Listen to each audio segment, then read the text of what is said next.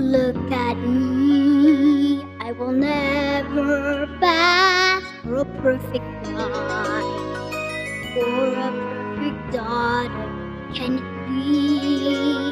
I'm not meant to play this part. Now I see that if I were truly to be myself, I would break my family's heart.